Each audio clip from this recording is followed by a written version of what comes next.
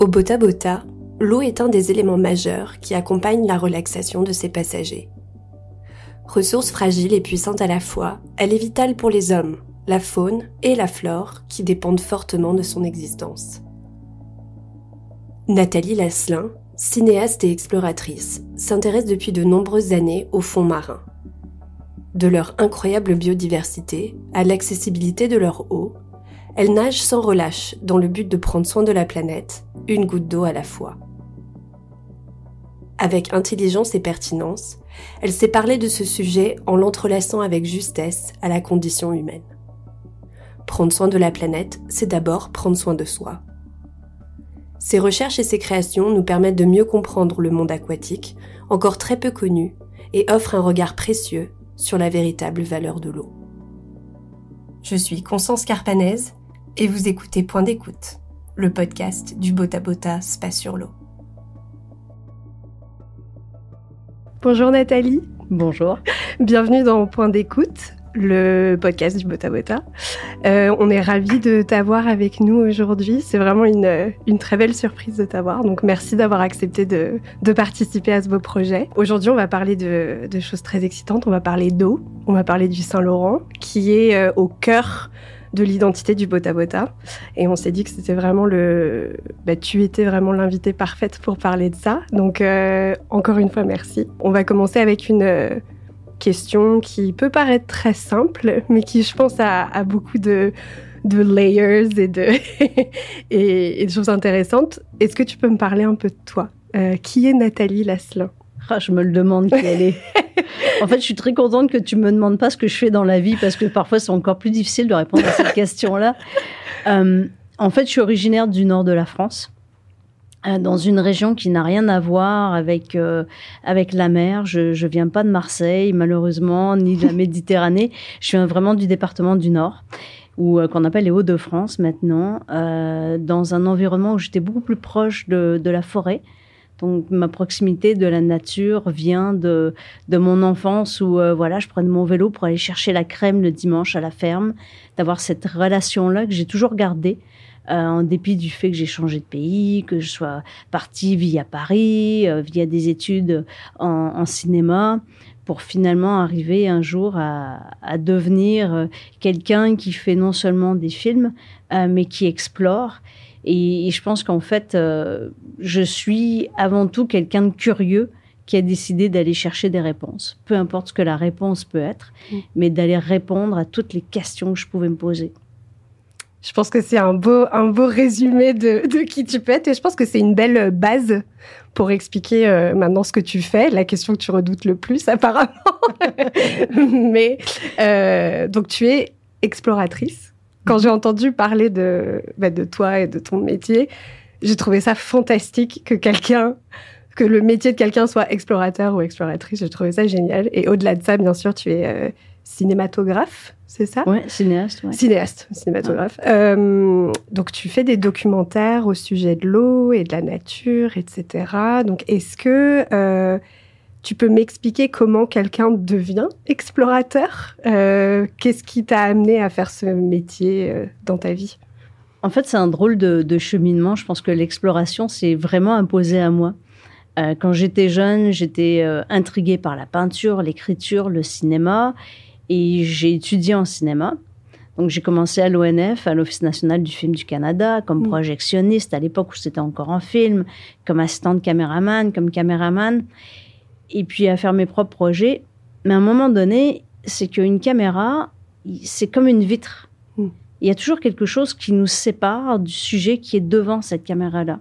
Et en dépit des merveilleux projets sur lesquels je travaillais, il me manquait quelque chose. Alors, plus tard, je suis tombée dans l'eau. J'ai commencé à faire la plongée sous-marine. C'est arrivé assez tardivement dans ma vie. Et la journée où j'ai mis les yeux sous l'eau, là, j'ai compris que c'était un environnement dans lequel je pouvais explorer dans, tous les sens. Aussi bien comprendre cette nature-là que comprendre comment on pouvait se dépasser pour aller dans certains endroits et puis de le faire juste pour moi, je trouvais ça bah, un peu réducteur. Finalement, c'était comme un, plaisir solitaire d'aventure qui me satisfaisait pas. Donc j'ai pris en fait toute ma connaissance de la caméra, du cinéma, et pour moi c'était important de pouvoir mettre l'exploration au milieu d'un film et de pouvoir le partager avec le plus grand nombre de personnes possible. Donc c'est vraiment de l'exploration en fait ça s'impose parce que parce qu'une fois qu'on se pose une question, qu'on a envie d'aller voir un environnement, que finalement on se rend compte qu'on est capable d'y aller, parce que physiquement, mentalement, la logistique, on fait une première expédition et là on devient un peu accro. C'est mm. comme une drogue. Je dirais que c'est un peu comme la drogue du bonheur ou, ou la drogue de, de l'insatisfaction peut-être même aussi parfois. Et, et chaque exploration nous amène à une autre exploration. Et on veut toujours aller plus loin ou différemment, ou ça amène d'autres questions auxquelles on veut répondre. Alors, moi, je me suis spécialisée vraiment dans ce qui est sous la surface de l'eau. Et en fait, je pense qu'au départ, ça vient simplement du fait que, un petit peu comme un enfant qui voit un rayon de lumière en dessous d'une porte et qui se dit, ouais, mais qu'est-ce qu'il y a en arrière de la porte? Et on a envie de la pousser. Puis parfois, il y a des portes qu'on ne peut pas pousser. On se dit, mais est-ce que je, je suis capable de me glisser en dessous, de trouver une façon pour voir ce qu'il y a en arrière Et puis quand on arrive à ouvrir cette porte-là, on se rend compte que c'est un monde, en fait, euh, qui était inconnu, qu'on n'avait peut-être jamais vu d'image, dont on n'avait jamais entendu parler. Et puis, on découvre petit à petit. Et on a envie d'aller, ben, dans mon cas, sous terre, sous l'eau. Et ce qui est magnifique, c'est que on n'a pas une visibilité infinie. Donc, on y va vraiment étape par étape. Parfois, c'est juste une visibilité de quelques pieds. Parfois, ouais, on a 100 pieds là, quand on est vraiment dans des eaux, euh, dans certains océans où c'est absolument extraordinaire, ou, mm. ou, même dans la faille entre les continents en Islande, on a des, des, conditions extraordinaires. Mais la plupart du temps, c'est des conditions qui nous demandent vraiment de poser notre regard et d'y aller étape par étape pour pouvoir découvrir cet environnement-là. Et à ce moment-là, ben, moi, ce que je fais, c'est que j'explore aussi bien des épaves que des grottes sous, sous terre, euh, que différents environnements qui sont pas accessibles ou dont j'ai pas vu d'image. Comme mon, le, mon projet actuel, c'est sur le réservoir Manicouagan. Hmm. Et en fait, une expédition comme celle-là, souvent, ça, ça vient d'une question qui peut être euh, assez de base. Euh, moi, je voyais beaucoup de photos prises par des astronautes de ce qu'on appelle l'œil du Québec, donc le réservoir Manicouagan. Hmm. Puis je me disais, c'est quand même étrange. Les astronautes adorent prendre en photo ce, ce lieu-là, mais il n'y a aucune photo sous l'eau. Hmm. Comment ça se fait Du coup, j'ai fait, ben, je vais y aller. Il faut toujours qu'une personne pose la question. Il faut toujours qu'il y ait quelqu'un qui pense à ça. Puis, tu as eh été cette personne-là en question. Là, je me suis dit, ben, je vais aller voir pourquoi. Et puis, évidemment, quand j'ai mis la tête sous l'eau la première fois au, réservoir Manicouagan, comme dans plein d'autres endroits, j'ai fait comme, ah, c'est pour ça. Alors, il y avait quoi dedans? C'était noir. C'était noir. Dès qu'on met la tête sous l'eau, c'est rouge, c'est noir, il n'y a pas une mmh. visibilité extraordinaire, c'est 5-6 degrés. Et je dis, ok, je comprends pourquoi ça attire pas nécessairement tout le monde. Et, quand on arrive dans cet environnement-là, on se dit, oui, ok, c'est une forêt submergée, mais ça ressemble à quoi une forêt submergée? Mmh. Qu'est-ce que ça représente? Et, et, quand on découvre l'environnement, qui peut être carrément hostile, mais qu'on y va vraiment avec toute l'assurance et, la, et, la, sécurité de, bah, de la technique de plongée qu'on a appris, parce que c'est vraiment de la plongée engagée. Mm. Ce que j'appelle la plongée engagée, c'est quand on va dans des endroits où euh, euh, il fait froid, il y a des conditions qui ne nous permettent pas de remonter directement à la surface parce qu'on a des obligations de décompression. Et là, on descend, on descend, on descend, il fait complètement noir. Et on se dit, ok, c'est pas dans l'espace que je suis, c'est dans l'espace mm. intérieur, là. Parce que les, particules en suspension, c'est comme des étoiles. Et là, on, promène la lumière, et on découvre une branche d'arbre, et ensuite l'arbre au complet. Et il est fier, il est droit, comme si, comme si rien ne l'avait affecté. Et là, on rentre dans un autre monde. C'est fou. Et je pense que d'aller dans ces endroits-là, on est, on est effectivement dans quelque chose de d'un paysage merveilleux, mm. mais ça va au-delà de ça. C'est pas juste voir, c'est vraiment ressentir l'environnement dans lequel on est. Et c'est pour ça qu'on se retrouve à, avoir beaucoup de plaisir, à triper, à aller dans des endroits où on se dit, oh, c'est quoi l'idée d'aller explorer dans cet endroit-là quoi? Il fait noir, il fait froid, euh, c'est à 1000 km de Montréal, il n'y a rien autour. Mais en fait, il y a, toute la base. Je sais pas si tu connais l'expression en anglais, quand on dit que le monde est plein de possibilités, on dit The world is your oyster. Uh-huh. Le monde est ton huître. Ouais. puis je trouve que dans ce cas-là, c'est très parlant parce que c'est vraiment ça, quoi. Tu, tu, peux aller tout découvrir euh, si tu as envie de le faire, quoi. Ouais, et puis il n'y a, y a, aucune limite. Mm. Il n'y a aucune limite. Alors très souvent, ce qui est, ce qui est drôle, c'est que Tu sais, même quand, quand, on est touriste, on se dit, ah, on aimerait aller dans cette destination exotique, super mhm. loin et tout ça. Puis on se dit, ouais, mais on ne connaît même pas ce qu'il y a au coin de la rue. Absolument. Puis au coin de la rue, il y a des choses extraordinaires. C'est juste, juste à Montréal, au niveau de, de l'ornithologie c'est absolument fantastique. Moi, j'ai hâte que le printemps arrive. Bon, l'hiver, c'est le fun aussi, mais, j'ai hâte au printemps parce que la vie va se réveiller. Mm. Je vais aller sur le bord du fleuve. Il va y avoir euh, les rats musqués, les castors. Tout le monde va, va revenir, va se réveiller un petit peu, les oiseaux qui vont arriver. Et c'est fascinant. Mm. À Montréal, c'est 73 espèces de poissons qu'il y a dans, dans, le fond de l'eau. Je me dis, ouais, bah, le fleuve, il est vert, il est brun, il est pas beau. non, non, faut ouvrir les yeux. faut se nettoyer les yeux prendre, bah, ok, faire quelques efforts pour aller voir. Et là, on découvre des choses qui sont fascinantes. Absolument. C'est fou. Au Bota on a beaucoup de, de, de faune très étrange. Uh-huh. On a des marmottes euh, qui viennent nous voir. Euh, on, a des, on a eu des ratons laveurs qui sont venus aussi. C'est génial. On a, on a des canards euh, qui font leurs œufs un peu à côté. On a vraiment, quand j'ai commencé à travailler là-bas, je me suis rendu compte à quel point c'était d'être proche du Saint-Laurent. ça nous apportait tellement de vie autre que des humains. Et je pensais pas, parce qu'on est quand même très proche de la ville finalement.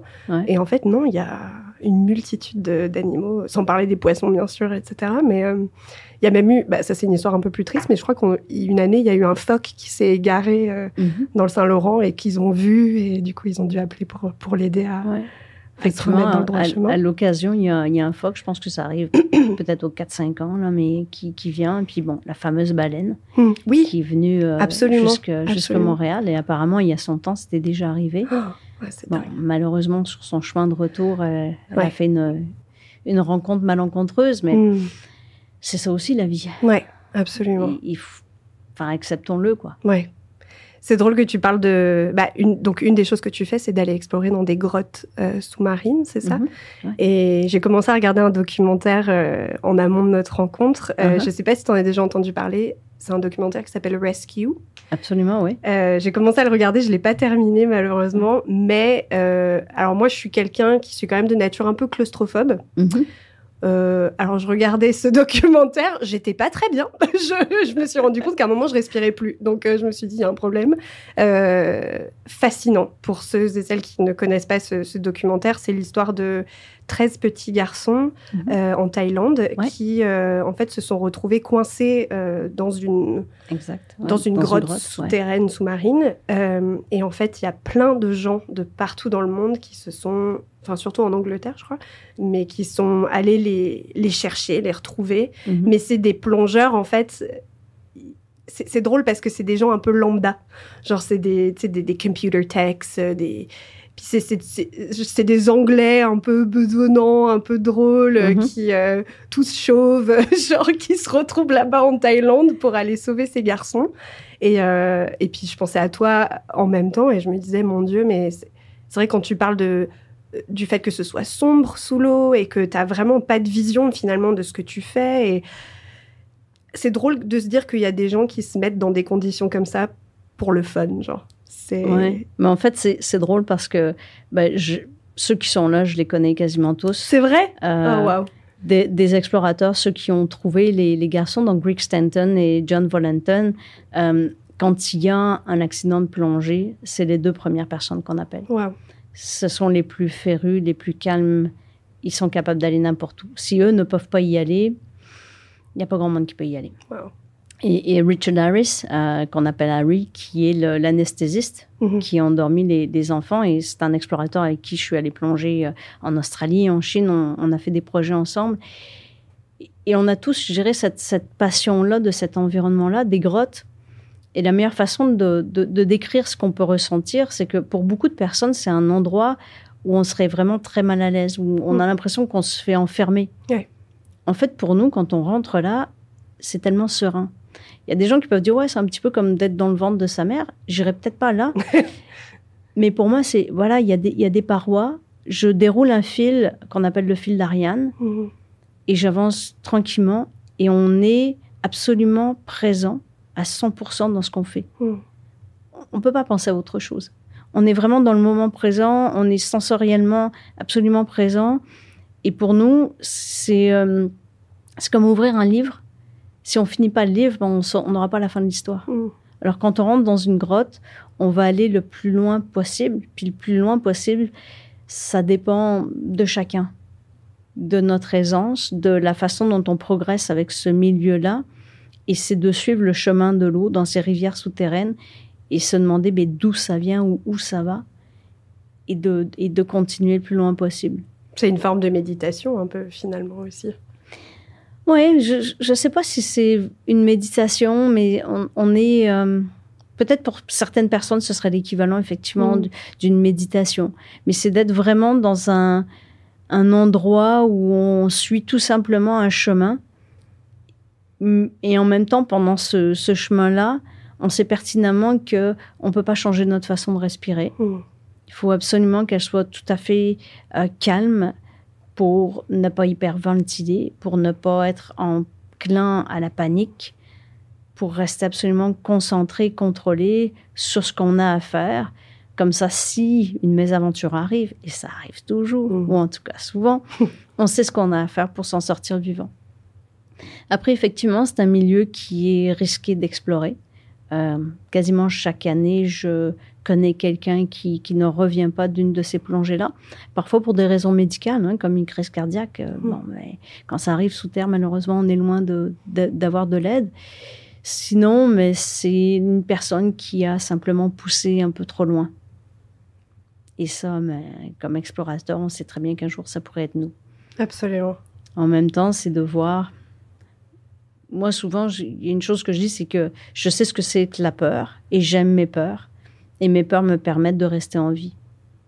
Parce que je sais que si j'ai une peur et que je lui parle à cette peur-là et que je lui demande ben, est-ce qu'elle est vraiment raisonnée ou c'est juste quelque chose qui est euh, imaginaire, mais si elle est raisonnée, peut-être que ça veut me dire t'es pas prête pour faire ce que tu veux faire. T'as pas fait tes devoirs au mm. complet. Il y a quelque chose qui est pas là ou la nature est dans des conditions qui te permettront pas de le faire aujourd'hui peut-être que c'est mieux de remettre ça demain ou la semaine prochaine ou l'an prochain. Hmm. C'est équivalent à. En, ce moment, je suis vraiment dans, des dans des délires de regarder des documentaires justement sur des explorateurs et mhm. notamment des explorateurs donc eux qui sont sur Terre et qui montent l'Everest, euh, qui montent tous ces monts incroyables, etc. Puis je trouve que vous avez tous un peu cette même façon d'approcher l'exploration, c'est-à-dire on y va parce que c'est quelque chose en moi qui me parle, qui est plus fort que que n'importe quoi et qu'il n'y a pas vraiment de raisonnement derrière, mais que c'est juste c'est une envie qui est qui est tellement plus forte et qui pousse nos pieds à faire ce qu'on fait. Ouais, et, euh, et je trouve ça super beau que sous terre comme sur terre, il y ait un peu ce même discours qui se, qui se propage, quoi. C'est trop beau. Bah, c'est effectivement. Tu sais, parfois les gens me disent ou me demandent Ouais, mais c'est quoi l'élément déclencheur? Hmm.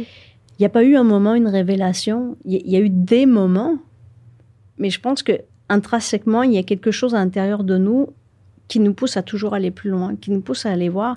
Et si demain matin on me disait, ben, c'est fini l'exploration, ce serait terrible, ce serait mm. vraiment terrible. Je, je, trouverais une autre façon d'explorer si, je sais pas, mettons physiquement ou, autrement, je ne pouvais plus. Mais, mais je peux pas concevoir la vie sans aller voir ailleurs, aller voir dans des endroits où j'ai beau aller sur Google, je verrai pas d'image. Google n'y est pas allé. Mm, mm, Et j'ai envie d'y aller. J'ai envie de de, de, prendre des images, de pouvoir les partager, de pouvoir parler de ça. Et à travers bah, toute cette rencontre avec, avec la nature, et aussi la rencontre avec les gens. Quand on est allé explorer en, Chine, euh, ben, il y a les villageois. Et, là, on se retrouve dans des situations qui sont complètement loufoques. Imagine, tu es dans un petit village en Chine où ils ont, pour la plupart d'entre eux, jamais vu un blanc en mmh. personne.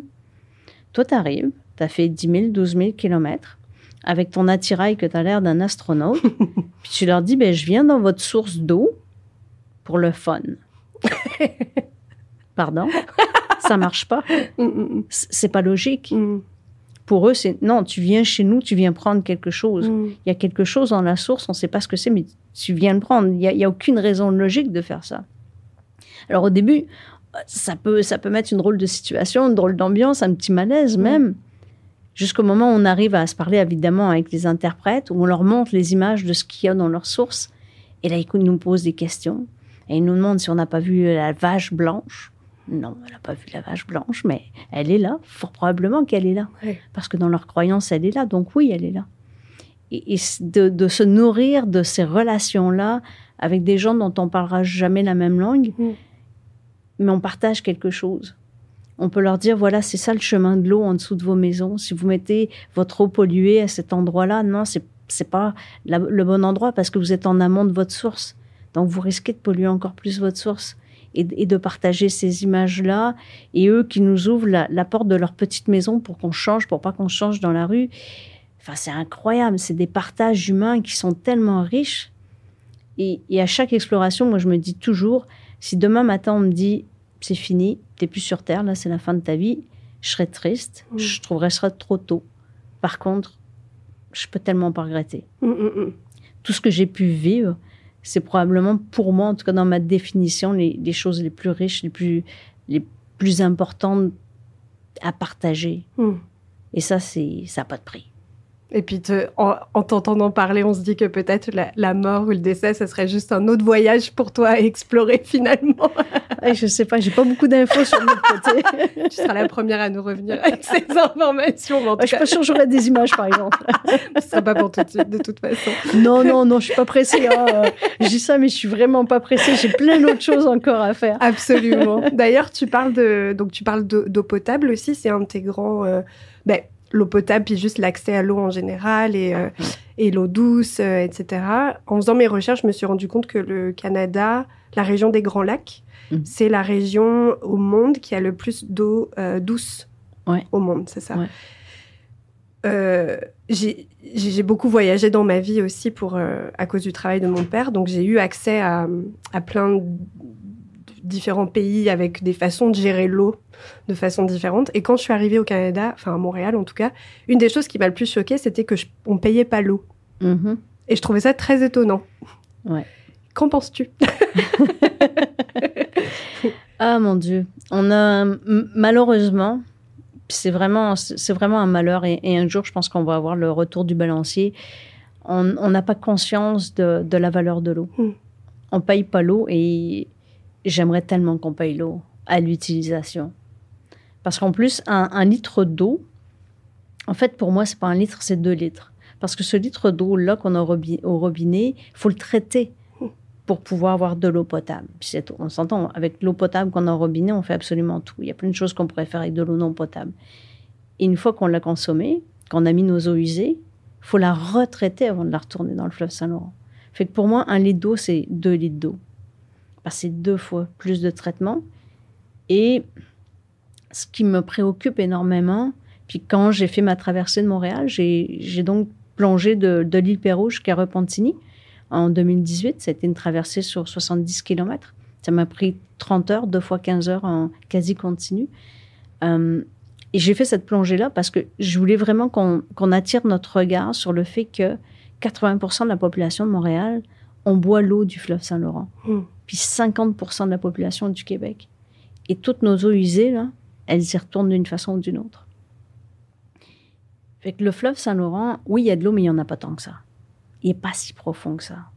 J'ai eu plein de mésaventures à cause de, du manque de profondeur, des plantes aquatiques qui poussent, etc., ah qui m'ont énormément ralenti dans, toute l'aventure. Hmm. Mais on a cette espèce de, de vision un peu bucolique. Oh, on l'aime, notre fleuve Saint-Laurent, il est extraordinaire, etc. Ouais, mais on le pollue. Hmm. On le pollue, entre autres, par nos choix. Alors, oui, c'est mieux que ce que c'était dans les années 70, début 80, parce que juste la station d'épuration à Montréal, là, Marcotte, ça date de 1984. Hmm. C'est pas si vieux que ça, quoi. C'est fou, avant ça, il n'y en avait pas de traitement. Et à l'heure actuelle, on a besoin de plus en plus de traitements, notamment parce que dans tous nos eaux usées, dans nos urines, on rejette des contaminants d'intérêt émergent. Et ça, pour moi, c'est la pire des, préoccupations. Parce que je me dis toujours, mettons, quand je, quand je fais des ramassages, on fait beaucoup de ramassages dans le fleuve Saint-Laurent pour euh, plastique, euh, des pneus, des choses comme ça. Mais ça, c'est une pollution que je vois. Hmm. Donc, ce que je vois, je peux l'enlever. Et je me pose toujours la question, c'est quoi le, plus important ou le plus préoccupant? Ce que je vois ou ce que je vois pas? Ce que je sais ou ce que je sais pas? Ouais. Puis je pense aussi que dans mon exploration, c'est pour ça aussi que j'explore. Parce que ce que je sais pas, est-ce que bah, c'est pas grave ou je devrais m'en méfier ou je devrais m'y intéresser quoi? Parce que parfois il y a des choses comme ah ouais je savais pas, waouh c'est extraordinaire. Puis à côté de ça il y a d'autres choses où je savais pas mais euh, j'aurais peut-être mieux pas savoir. ouais ou alors il faut que je dise à tout le monde là. Oui aussi plutôt. il, y a, un peu ça. Puis avec les, les, les, contaminants d'intérêt émergent donc c'est pesticides, herbicides, mhm. euh, résidus de médicaments, euh, antidépresseurs, contraceptifs, enfin tout ça là.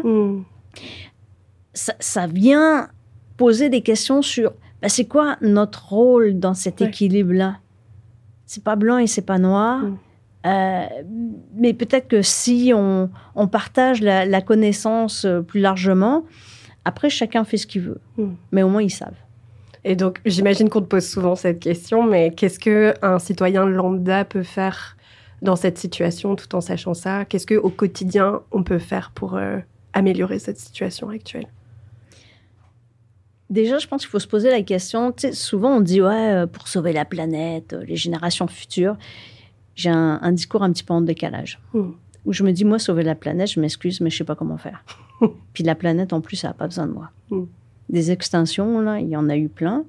On sera peut-être la prochaine. Fait que la planète, elle va s'arranger, même si on est rendu à un point quand même très inquiétant. Génération future, je veux bien, mais ça me semble loin ça me semble pas précis, pas mesurable. Et si on veut changer quelque chose, c'est de se poser la question, est-ce que mes gestes aujourd'hui, ils ont tous un impact? Est-ce que l'impact est davantage négatif ou positif? Et pas pour euh, dans 50 ans, dans 5 ans, dans 10 ans, dans 15 ans, dans 20 ans. Si on mange trop, on va grossir, on va pas se sentir bien dans sa peau, etc ça sera peut-être dans un an, dans cinq ans, mais on sait pertinemment quoi faire pour être en meilleure santé. Il y a des choses effectivement que, sur lesquelles on n'a pas le contrôle, mais il y a tellement de choses sur lesquelles on a le contrôle.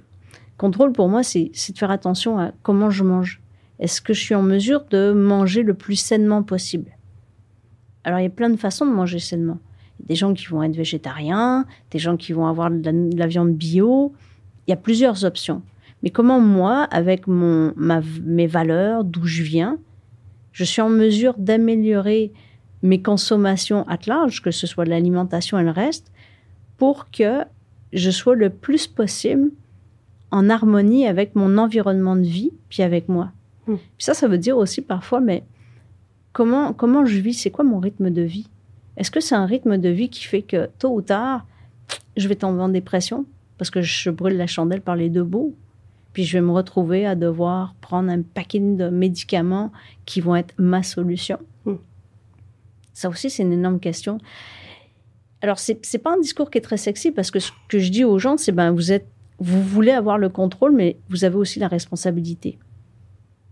Moi, l'impression que j'ai, c'est que si on accepte notre côté humain, qui souffre et qui a de la joie, qui veut le contrôle de ce qu'on fait de notre vie, faut accepter aussi les responsabilités et se poser les vraies questions hmm.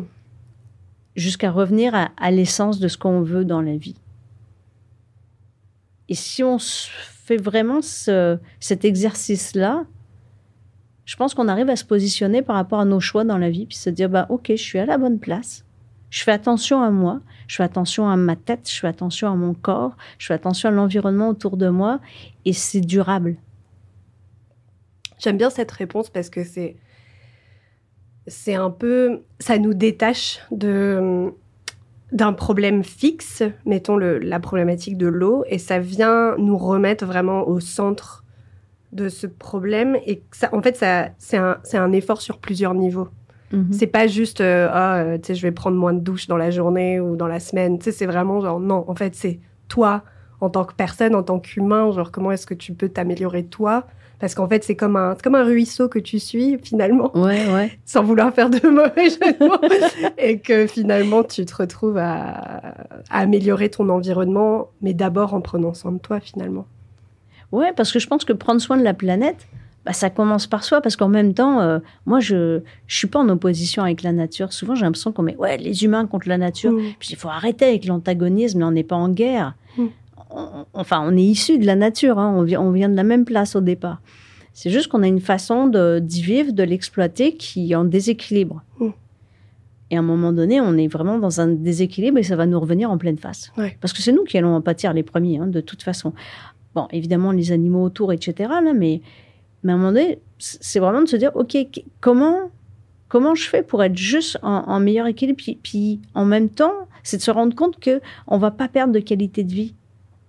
C'est pas parce que je laisse pas couler mon robinet pendant 10 minutes pendant que je me brosse les dents que je vais être plus malheureuse. Hmm. C'est pas vrai.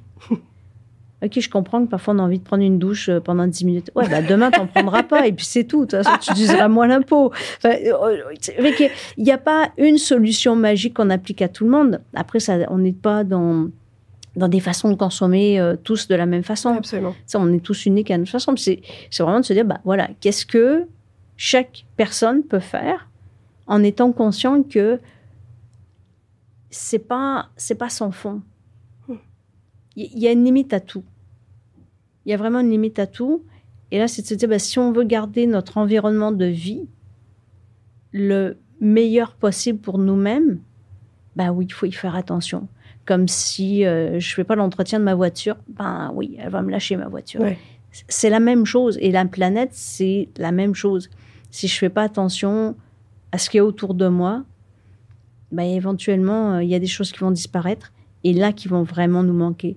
C'est drôle, tu vois, il y a une, une femme, Rachel Carson, en 1960, qui a écrit un livre, Le printemps silencieux, 1960. Mm. Et à ce moment-là, elle tirait la sonnette d'alarme, justement, déjà sur tout ce qui était cette pollution, les contaminants émergents, etc. Ça date pas d'hier. hein, et, et le titre, moi, je, je l'adore parce que le printemps silencieux, ça veut dire que les oiseaux, ils chantent plus. Et si un jour les oiseaux chantent plus, waouh, Ouais, là, on va se sentir tout seul quand même. hein. c'est clair. Ce serait dommage. On est d'accord.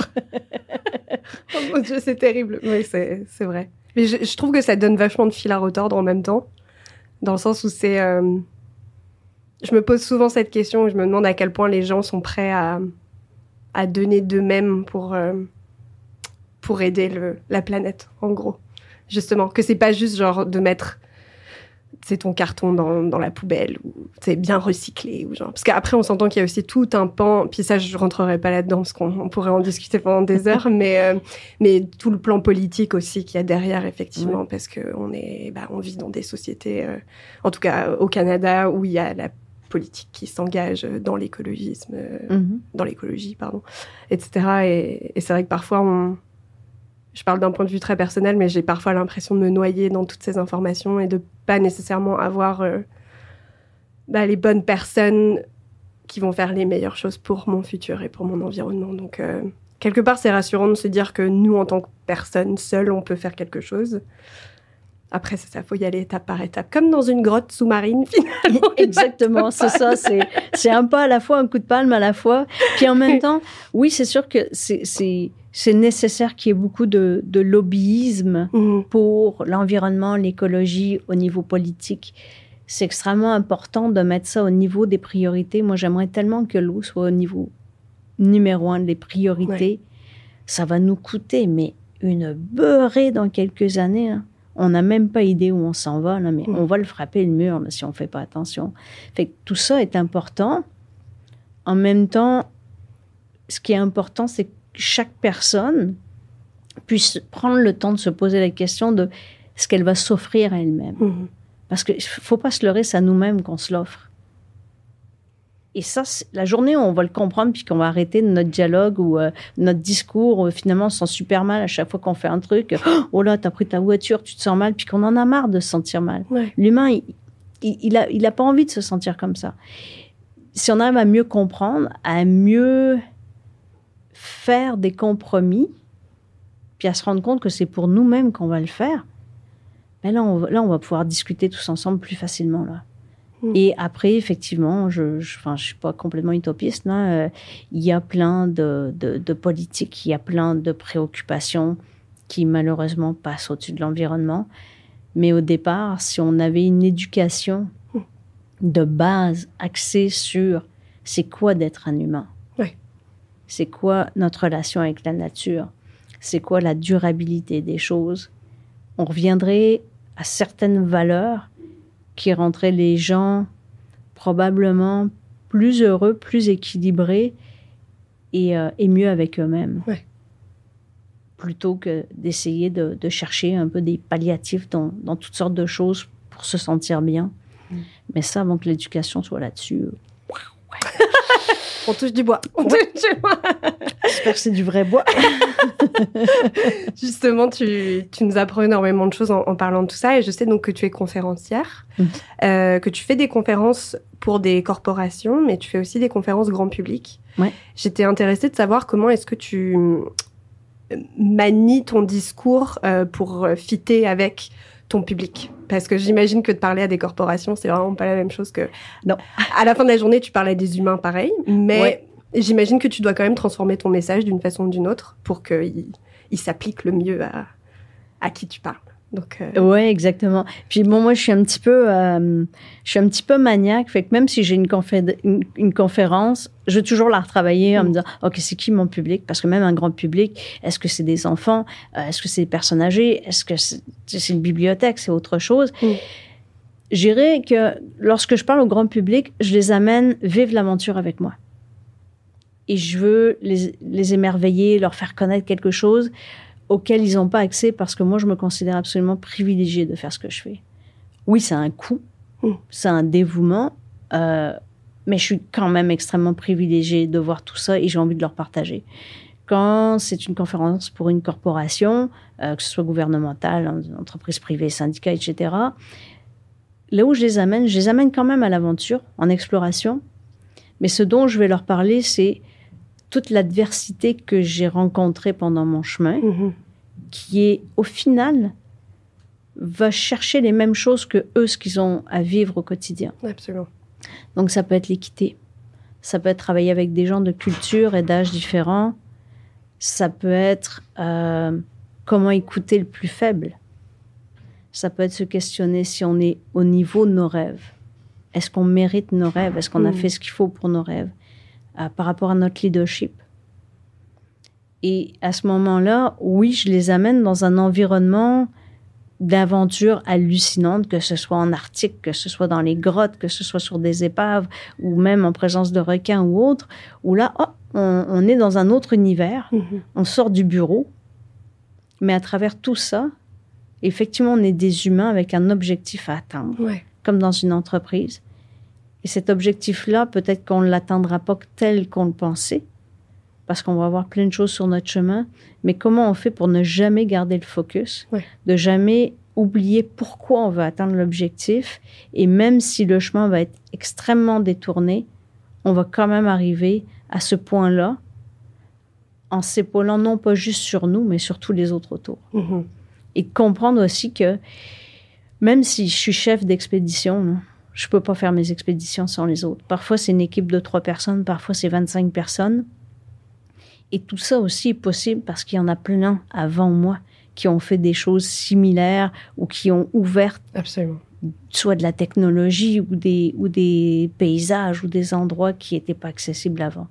Absolument. C'est ce que Mylène, Mylène Paquette, je ne sais pas si tu ouais, la connais, ouais, ouais. elle était dans la première saison de notre podcast et j'étais, j'étais allée assister à une de ses conférences qui était, elle s'adressait à des, des employés de Desjardins, je pense. Okay. Donc j'avais trouvé ça hyper intéressant comme, que, que, comme façon de faire finalement. Puis elle avait retracé son, son séjour, euh, enfin son, son, aventure en fait. Mm -hmm. Et c'était vraiment ça. C'était appliquer des, des expériences qu'elle avait vécues sur la mer, des expériences où elle était seule avec son équipe qui était sur Terre. Mm -hmm. Au Canada, alors qu'elle était coincée au milieu de l'Atlantique sous des vagues, qu'elle était tombée genre 15 fois. Enfin, c'est et puis donc elle ramenait son expérience à une expérience plus personnelle en tant qu'humain quand on vit des situations difficiles et comment ouais. on fait pour pour s'en sortir et je trouve ça je trouve ça beau que des gens comme toi et elle puissent exister et puissent parler de ces choses-là ça remet tout en contexte ça remet tout en Mhm. mmh. perspective et je trouve ça hyper libérateur comme discours en fait c'est ça fait du bien à l'âme donc c'est ouais donc merci. ben, bienvenue. c'est à la fin de la journée, on a, on a tous des très mauvaises journées au bureau. Ah, c'est sûr. Même si, même si notre bureau est dans un paysage absolument fantastique et extraordinaire. Il y a des journées où je dis, écoute, un petit 9 à 5 facile. Euh... bon, quelques secondes après, on se fait comme, mais non, tu sais très bien que non. Mmh. mais, mais, mais c'est ça la vie. Enfin, quand on veut la vivre pleinement, puis même si on veut pas la vivre pleinement, Mhm. parfois on la subit pleinement. Mm, mm, mm. Reste qu'on est des humains avec des besoins qui sont similaires. Et à la fin de la journée, il faut répondre à ces besoins-là, quels qu'ils soient, et trouver la meilleure façon d'y répondre. Absolument. Ouais. J'adore ça. le 13 octobre 2021, je pense, tu as sorti le documentaire le- La goutte de trop sur Mhm. Télé-Québec, Mhm. euh, dans laquelle tu mets en lumière la problématique de l'eau potable, justement, et tu parles du Saint-Laurent aussi. Ouais. Il me semble, oui. Ouais. Euh, Est-ce que tu peux nous parler un peu de ce projet? Je pense que tu en as un peu parlé tout à l'heure. Oui, exact. En fait, bah, c'est suite, euh, quand j'ai fait l'Odyssée urbaine aquatique, donc la traversée de- du fleuve Saint-Laurent à Montréal, euh, je suis allée chercher Jérémy Bataglia, avec qui j'avais travaillé sur un de ses films. Puis j'ai dit, écoute, Jérémy, même si je fais mes films, moi, je me filmer moi-même, là, je trouve que j'en ai un petit peu beaucoup dans mon assiette. Il faut Ouais. que je monte l'expédition et tout ça. Veux-tu me, me filmer, suivre l'aventure Et pourquoi je fais cette aventure-là? Quelle est ma quête ultime de mettre l'eau au-dessus des préoccupations? Et donc, Jérémy m'a suivi et le film a été fait dans lequel on parle moins de l'expédition comme telle, parce que l'expédition, ça a été couvert dans un livre euh, qui a été publié en 2019 chez Multimonde, euh, Sous le fleuve, l'Odyssée à la rescousse du fleuve Saint-Laurent. Puis dans mes conférences, j'en parle beaucoup. Et le film, on avait vraiment envie de, de se préoccuper davantage de notre relation à l'eau potable et, et se poser la question de savoir, mais on en est où au juste? Parce qu'on on peut avoir des impressions, des intuitions, mais à un moment donné, il faut y aller avec des faits. Mhm. Et c'est ce qu'on est allé faire, donc d'aller se renseigner auprès de, de plein de scientifiques, dont des scientifiques avec qui j'avais euh, collaboré, notamment euh, Sébastien Sauvé de l'Université de Montréal, du département de chimie, avec qui on, on a fait euh, toute la campagne de, de prélèvement d'eau et de sédiments pour connaître les, les contaminants émergents. Et d'autres personnes à Québec, à Sainte-Rose, et de se dire, bah voilà, on en est où avec l'eau? Mm. Est-ce qu'on devrait s'inquiéter? Et qu'est-ce qu'on fait avec ça? Et dans, et dans le film, c'était aussi de, de, de montrer bah voilà, des petits gestes simples. Donc, c'est pour ça qu'il y a, il y a quatre personnes qui, euh, qui font partie d'un programme en fait, où ils essaient de réduire leur consommation d'eau, parce qu'en fait, on est dans les pires consommateurs au monde, À- à- au Québec ou à Montréal au particulièrement Québec. Au Québec. Au Québec. Je, je- je- on est deuxième, je pense, Ah oui. dans le monde. C'est pas, c'est pas Jojo. Ok. Fait que ce documentaire-là, il est disponible gratuitement, il me semble, sur Télé-Québec, c'est Il ça? a, été, ouais, il a été projeté sur Télé-Québec. Je pense qu'il est encore sur leur site. Euh, puis il y a des tournées aussi qui se font euh, dans, dans des écoles et tout ça. Donc le, le film continue à, à faire son chemin. Et, et parallèlement, moi aussi, je fais le chemin toujours sur, le, sur les conférences, sur le fleuve Saint-Laurent, sur notre relation à l'eau potable. Et, euh, et de se poser la question où on en est. Mm. Puis en même temps de montrer à quel point il est beau, ce fleuve-là aussi. Ben là. oui, surtout, là. oui, ben surtout. Puis de toute façon, vous, le- vous le savez au Bota Bota. Absolument. Et souvent, moi, je dis aux gens, je dis, vous savez, euh, quand ça va pas bien, vous avez une mauvaise journée, je- vous, pouvez aller, vous pouvez aller voir votre psy tout ça, mais vous pouvez aller parler au fleuve. De toute façon, le fleuve, c'est quand même si vous répondrez pas. Non, je, je- je taquine. J'aime beaucoup les psychologues, je taquine. Mais, mais parfois, je, je dis ça à mes amis, ça va pas, mais va crier au fleuve. Mm. Tu sais, comme on- ce qu'on fait à Paris, euh, là où il y a le, le- le métro euh, aérien, là, Oui. on va en dessous, puis on hurle. si tu fais pareil avec le fleuve, tu vas voir, ça fait du bien. Et juste de regarder un, un lever de soleil ou un coucher de soleil, Mm. et c'est pas loin de la ville. Non. Et c'est un environnement qui est complètement différent. Et on peut y accéder directement en métro. Ça va coûter quoi? 3 dollars et quelque chose le billet de métro pour aller voir le fleuve? Ouais. Puis oui, on la regarde, la nature. Et, et il est riche, ce fleuve-là. Il nous fait rêver. Enfin, moi, il me fait rêver. Ouais, absolument. J'adore euh, faire du vélo tout au bord de. Vraiment le suivre euh, de haut en bas. Ouais, ouais, ouais. Ah si. Puis c'est vraiment. C'est le truc que je fais quand j'ai rien à faire le week-end, l'été, Ouais. bien sûr. Et, euh, et c'est vrai, que c'est hyper apaisant. Faire un petit pique-nique à côté. C'est Mais hyper oui, agréable. on a juste à se mettre sur le sur l'herbe. Puis il y a, y y une partie du fleuve où on y a moins accès. Ouais. Euh, mais toute la partie ouest euh, du, du port, il y a des kilomètres et des Mm, mm, kilomètres et c'est incroyable. Puis on peut se baigner dans le fleuve. Oui, absolument. C'est Moi, clair. moi, j'adore me baigner dans le fleuve. Ouais. Alors, j'y plonge plus que je m'y baigne, bien sûr. mais euh, il y, a, il y a juste, si vraiment il y a une, une pluie intense sur tout le territoire, le lendemain, j'irai pas me baigner. Mm. C'est le seul moment parce qu'on sait qu'il y a encore des surverses. À un moment donné, il n'y en aura plus. Mm. Mais le reste du temps, moi, j'a- j'adore ça. Absolument. Tranquille. Alors oui, bon, il y a des particules en suspension, mais c'est pas parce qu'il y a de la turbidité dans l'eau qu'elle est nécessairement polluée. Ça Mhm. aussi, c'est une fausse perception qu'on a. Mais justement, je voulais demander quelles sont un peu les fausses perceptions qu'on a du Saint-Laurent?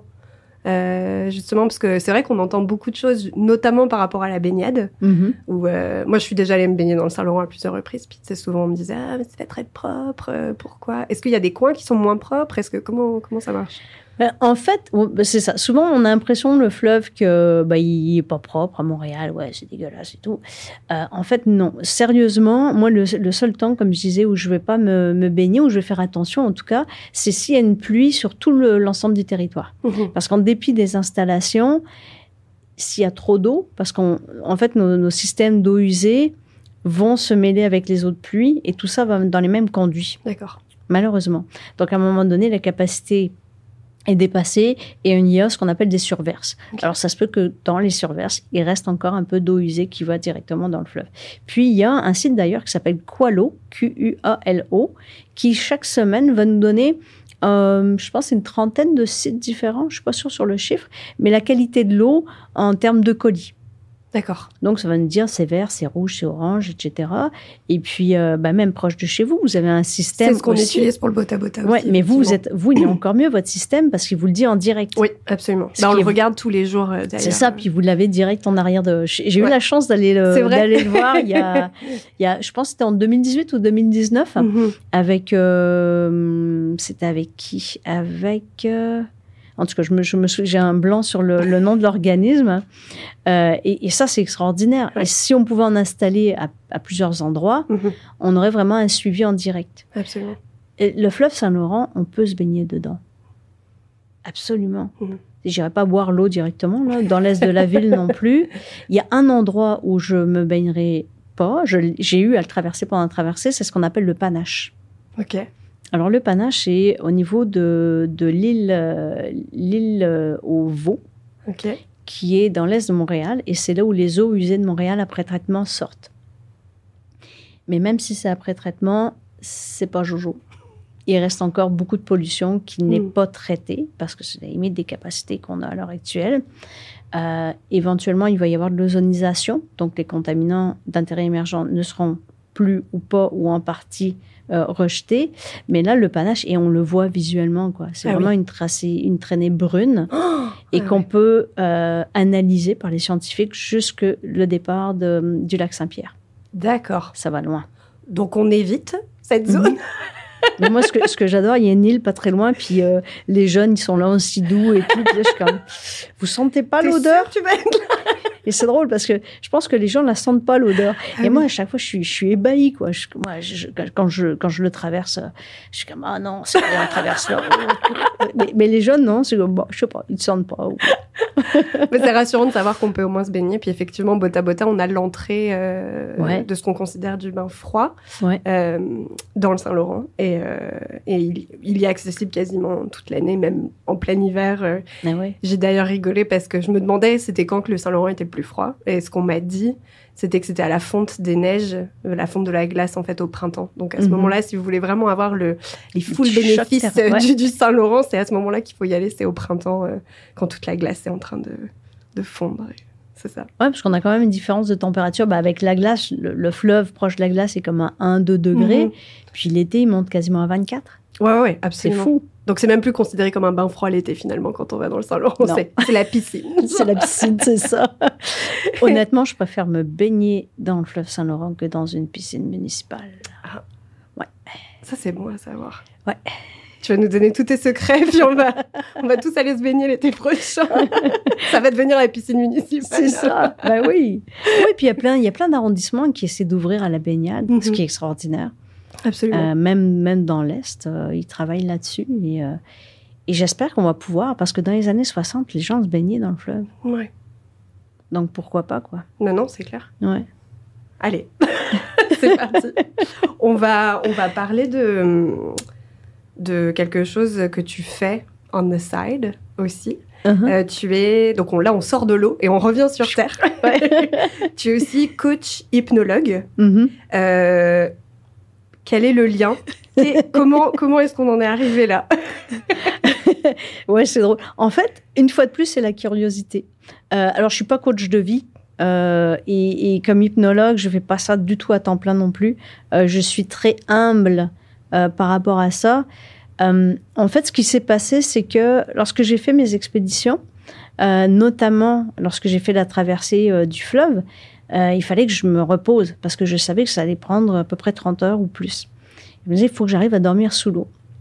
Et je me suis souvenu de Bertrand Picard. Bertrand mhm. Picard, c'est ce fameux euh, psychiatre slash hypnologue slash explorateur qui a fait le tour du monde en ballon, qui a fait le tour du monde avec l'avion solaire et qui, entre autres, a mis au point une technique pour pouvoir dormir, ce qui est en fait plus d'être dans un état de conscience modifié de repos pendant 20 minutes pour reprendre son énergie au complet.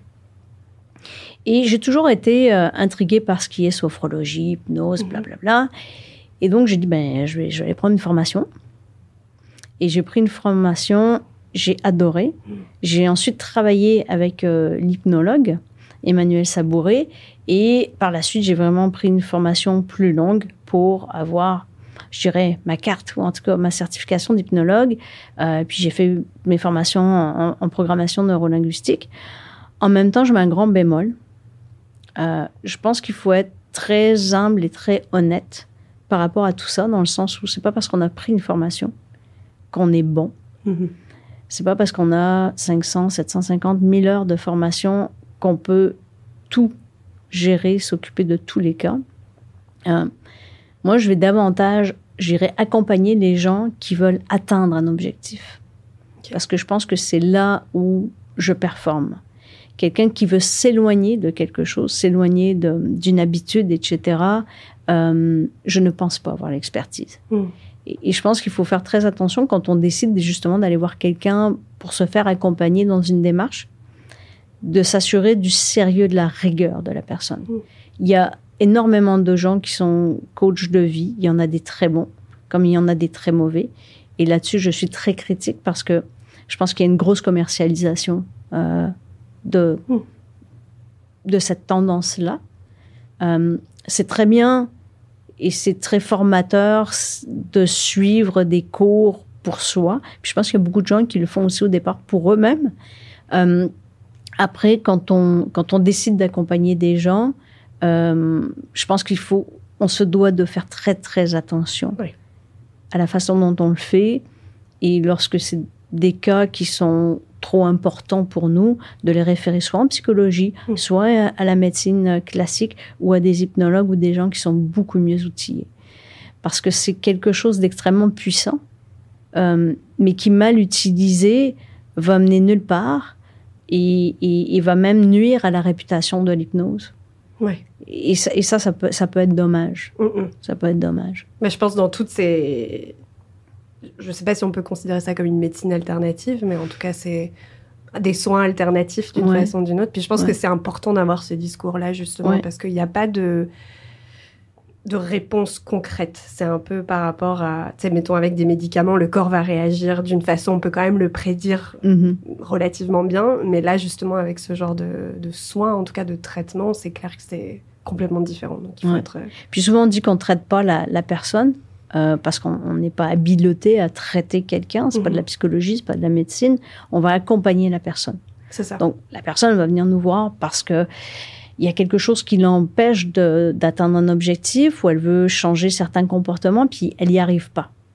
Puis quand on va voir un hypnologue, ben c'est pas euh, fais ta magie puis euh, dans une heure c'est réglé là. Merci, j'ai arrêté de fumer en une heure. Yeah Est-ce qu'il y a vraiment le petit pendulé Non, et tellement pas. Non, puis il n'y a pas de divan, il y a rien de tout ça. C'est euh, fou. debout dans un placard. Ah non, c'est non pas le placard, mais ça peut se faire dans un parc quoi. Tant et aussi longtemps qu'on est dans un environnement dans lequel on se sent en sécurité. D'accord. Parce que c'est vraiment ça en fait l'hypnose, c'est un petit peu pour moi la, la, la, meilleure comparaison, c'est un peu comme si tu as une amie qui vient te voir, qui a un problème. Et puis là, elle est super affectée, elle est dans ses émotions et tout, elle est dans son, son passé qu'elle porte et euh, elle, elle, elle, voit pas la solution, elle la mm. voit pas. Toi, tu es à côté, tu es calme, ça va super bien dans ta vie et tout. Puis là, tu te dis, euh, ah, mais est-ce que t'as pas pensé à ça? Est-ce que si, est-ce que ça, etc. Et vu qu'émotivement, on n'est pas impliqué, bah, tout de suite, on est capable de voir les choses différemment. Alors, au lieu que ce soit deux personnes, quand on est hypnologue, on amène la personne à devenir ces deux personnes-là. Mmh. Donc c'est vraiment ce qu'on appelle un état de conscience modifié. Alors après, il y a toutes sortes de, techniques, mais c'est de se dire, ben voilà, toi, tu, penses juste avec ta tête, tes émotions, tu es pris dans ton truc, tu vas jamais t'en sortir tout seul, parce qu'il y a de la rumination, parce qu'il peut y avoir toutes sortes de, de choses. Là, ce qu'on fait, c'est que on se donne, en général, c'est quoi, 45 minutes, une heure, une séance pendant laquelle tu vas te reconnecter avec une partie de toi qui a déjà ces réponses-là, qui a déjà ces solutions-là. Et en fait, l'hypnologue, il est un peu comme un, comme un guide, comme un accompagnant pour aider la personne à se reconnecter ou à se connecter ou à découvrir cette partie qu'elle a chez elle qui sait comment mieux faire les choses. Fait que c'est tout sauf de la magie. Euh, ça, demande un engagement de la personne aussi qui, qui veut une, séance d'hypnotisme. C'est quelqu'un qui dit de toute façon moi ça marche pas, ça marchera jamais. Mm. Ben non, c'est sûr, ça marchera pas. Si tu veux pas, ça marchera pas, c'est sûr. Je vais même pas essayer. C'est pas un jeu de toute façon. C'est c'est juste de de se permettre de vivre ou, ou de de voir une situation ou quelque chose différemment. Puis il doit tellement y avoir des idées préconçues sur l'hypnose, justement. Que, ah ouais, c'est drôle. bah justement, le petit pendule, c'est sûr qu'il n'y en avait pas, mais, mais c'est ça, ça doit tellement... Je pense que les gens doivent être quasiment surpris quand ils en font pour la première fois avec quelqu'un qui sait en faire, euh, parce que ça doit tellement sortir de ce qu'on pense. Oui, oui, puis c'est sûr qu'il y a l'hypnose de spectacle. Alors les gens, ouais. tu vas me faire faire la poule et tout. non, on fera pas la poule, on fera pas l'œuf. Euh, non, il y a rien de tout ça. Puis parfois c'est comme, euh, est-ce que c'est ça que je dois faire? Tu fais ce que tu as à Parce qu'en fait, il n'y a, pas, y a pas de règle. à travers toute la session, la séance. Euh, parce qu'en fait, la façon dont tu le décris, j'imagine un peu comme une déconnexion pour se reconnecter, mhm. mais à quelqu'un, enfin à nous, mais d'une façon différente. C'est drôle. Mais du coup, on est conscient à travers tout le processus. Tu sais, c'est un peu comme. Euh, c'était déjà arrivé de regarder dehors par la fenêtre? Puis à un moment donné, oh, mon Dieu, ça fait déjà 5 minutes, quoi. Mm. J'ai l'impression que ça fait 10 secondes. ça peut être ça. Ouais. Ça, c'est un état de conscience modifié. D'accord. Oui, c'est on est ailleurs, on est présent, mais on est ailleurs. C'est ça, on est présent, mais on est ailleurs. Alors au début, c'est comme, oh, c'est un peu bizarre. on est là, on n'est pas là, il euh, faudrait savoir. Ben, on est là, mais il y a une partie de nous qui est pas là. Ouais. Puis il y a une partie de nous qui qu'on n'écoute jamais, à laquelle on, on, fait jamais attention, qui tout d'un coup fait comme, hey, j'ai un truc à te dire. Ouais. Et, et c'est ça qui se passe. Alors on peut jamais prévoir d'avance ce qui va se passer quand on accompagne quelqu'un parce que ça appartient à la personne. Hmm. Ça me fascine tellement. J'adore ce genre de, sujet. Je pense que je pourrais en parler pendant mille ans encore, mais c'est euh, juste par curiosité. Tu parlais de, du fait que tu avais utilisé cette technique pour dormir sous l'eau. Moi, c'est un rêve que j'ai de façon récurrente où je respire sous l'eau. Euh, j'ai des poumons qui sont vraiment en très très mauvais état et, euh, et je pense que c'est un rêve que j'ai intrinsèque de petite fille de pouvoir respirer sous l'eau. Sans bouteille, sans rien? Ouais, voilà, parce que je pourrais jamais faire de la plongée sous-marine comme toi et donc ça me, ça me, ça me fascine et ça me passionne. Et donc parfois je fais ce rêve où je respire sous l'eau. Euh, bon, dormir sous l'eau, c'est pas la même chose, mais, mais comment, comment ça marche de dormir sous l'eau du coup avec l'hypnose? C'est quoi le... Bah, la, technique. Que tu flottes, tu restes dans l'eau, tu flottes et t'attends que. En fait, ce que, ce que j'ai fait, non, je flotte pas, j'ai les, les, deux pieds sur terre parce que, comme pour n'importe quelle séance d'hypnose ou d'auto-hypnose, on va être dans un environnement où il n'y aura pas de surprise. Ok. Donc, si je flottais, je pourrais me heurter contre quelque chose, ça fonctionnerait pas. Donc, il faut avoir un environnement contrôlé. Souvent, on va dire aux gens bah, que le, téléphone soit éteint. S'il y a des gens dans la maison, bah, ne dérangez pas, fermez la porte. Pour qu'on soit vraiment dans un, un, environnement dans lequel on se sent vraiment en sécurité, où tout va bien. Et ce que j'ai fait, en fait, pendant la plongée, c'est que j'avais un plongeur qui me regardait. Puis je lui dis, on va faire, on va mêler quelque chose d'hypnose en plus de quelque chose que les apnéistes font. Mmh. C'est que régulièrement, tu vas venir me pincer le doigt et moi, mon doigt, il va te répondre. C'est pas moi qui te réponds, c'est mon doigt, c'est même le doigt qui te répond. C'est quelque chose qui ne m'appartenait pas. Et donc, bon, je, voilà, j'ai tout un discours intérieur qui me met en condition pour pouvoir rentrer dans cet état-là. Et puis, à un moment donné, ben, pouf, j'entends je, quand même ce qui se passe autour, mais je suis complètement euh, lâché prise euh, à, à dormir. C'est pas un vrai sommeil comme si j'étais euh, sur mon oreiller, non, mais, mais je suis en train de me, de me reposer. Il n'y a plus du tout de tension, il n'y a plus rien. D'accord. Et c'est un lâcher prise complet. Et c'est des choses. Moi, c'est drôle parce que faire une sieste, c'est un truc que c'était même pas la peine. C'était même pas la peine. Et quand, quand j'ai commencé ce projet-là, je me suis dit, là, là j'ai pas le choix. Là, Hmm. là il va falloir que tu te parles et puis que tu arrêtes d'abord de te dire que non, je suis pas capable. Mm, mm. Oui, tu es capable. Puis peut-être que ça va prendre une demi-heure avant que tu arrives à t'endormir deux minutes, mais c'est pas grave. Plus tu pratiques, plus ça va aller. Comme n'importe quoi, dans le fond. Plus on Practice pratique, makes perfect. voilà. c'est exactement ça. Et c'est comme ça que, bon, ben voilà, j'ai réussi à, à dormir sous l'eau. Puis je me sers de, de l'hypnose, de l'auto-hypnose aussi bien pour la plongée, parfois pour essayer de visualiser certaines, certaines choses. Puis toute ma plongée, je l'ai visualisée. Je l'ai vécue Mm. avant de la faire. Ouais. Alors, elle s'est pas passée, évidemment, de la même façon que je l'avais visualisée. Sauf que toutes mes, mes, mes ancrages, mes paramètres, mes barrières, mes protections, tout était placé. Ouais. Donc, quand il m'est arrivé différentes choses pendant la plongée, c'est comme si ce n'était pas complètement inconnu. Ouais. C'est Lisanne Richard, qui était une de nos ambassadrices il y a quelques années, qui est Mhm. pl- plongeuse de haute voltige. Ouais. Je l'avais suivie, euh, on avait fait une vidéo ensemble où elle expliquait un peu ses- sa préparation justement avant qu'elle fasse de- ces plongeons-là. Puis elle plonge de super, super, super haut, genre des Mhm. falaises immenses. Et elle me montrait vraiment, effectivement, qu'elle faisait tout un principe de visualisation où elle faisait même jusqu'à aller faire les gestes qu'elle allait Exact. faire dans les airs. Mais elle avait les deux pieds sur terre, mais je la voyais genre euh, faire ces trucs avec ses bras comme ça. Et, euh, et j'ai trouvé ça fascinant. Et finalement, on se sent beaucoup plus en contrôle en fait quand on fait ça. Et Ouais. Même si, comme tu dis, ça va peut-être absolument pas se passer comme ça, mais au moins on a quelque chose dans notre cerveau qui nous dit euh, le chemin euh, par lequel passer, quoi. Et en même temps, c'est euh, c'est de pratiquer la mémoire musculaire. C'est souvent, si on, si on décompose, je reviens encore à conduire une voiture ou un vélo, mais quand on pense, admettons, on est sur la route, il faut qu'on dépasse une voiture, puis se rabattre, Mm. puis une voiture manuelle. Si on décompose tous les gestes qu'on doit faire entre les yeux, la main droite, la main gauche, le pied droit, le pied- mais c'est fou tout ce qu'on fait. Si on mettait ça sur une feuille, on dirait Ah non, je suis pas capable, il y a trop de choses à faire. Mais on le fait naturellement, on n'y pense même pas. On est, on est capable de manger une pomme puis parler au téléphone en même temps. C'est- fou. Mais Ouais. si on regarde tous les, tous les trucs, on se dit Oh, il y a trop de choses à faire. Puis la première fois qu'on conduit une voiture manuelle, mon Dieu, ça cale, enfin, ça marche pas. Oui, ouais. c'est- Et, et là, en fait, ça devient une mémoire musculaire. Mhm. Et ce qu'on fait, même en plongée, la pièce d'équipement, moi, je, je, je m'habille toujours tout seul, même si j'ai des, des, des, des assistants qui sont là ou qui, souvent, on se dit, en- entre plongeurs, on fait le, le body check. Mhm. Voilà, on se vérifie, on s'aide à s'équiper. Moi, je m'équipe toujours tout seul. Parce que je m'assurer que ma sangle soit placée exactement à bonne place. Parce que si quelque chose sous l'eau m'apparaît différent, je vais savoir ce que c'est. Ouais. Et, et on est vraiment, on devient très, très conscient de, de tous ces micro-détails qui sont extrêmement importants. Et on sait si quelque chose est correct ou pas correct. Absolument. Puis on a nos, nos réflexes. Mettons, s'il faut mettre de, de l'air dans la veste pour remonter ou quoi que ce soit, c'est exactement à la même place tout le temps. Et on, souvent, on se rend compte quand on change complètement d'équipement, ben, on- ah non, c'est pas là, c'est c'est plus bas. Là, on est comme un centimètre à côté, puis on dit, ben, ça marche pas. Là. Ouais, ouais. Fait qu'il faut réapprendre. Mais c'est fou, le corps tout seul, là, sans, sans, la, sans le, la, la conscientisation, là, est capable de, de faire tellement de choses. De tout savoir. De toute façon, il y a une grosse por- portion de notre cerveau qu'on sait même pas qu'est-ce qu'il fait. Enfin, on est. Je, je sais, on ne sait pas ce qu'il fait, mais Nous-mêmes, on fait est une aventure à explorer à l'intérieur de nous-mêmes. Ah, c'est clair.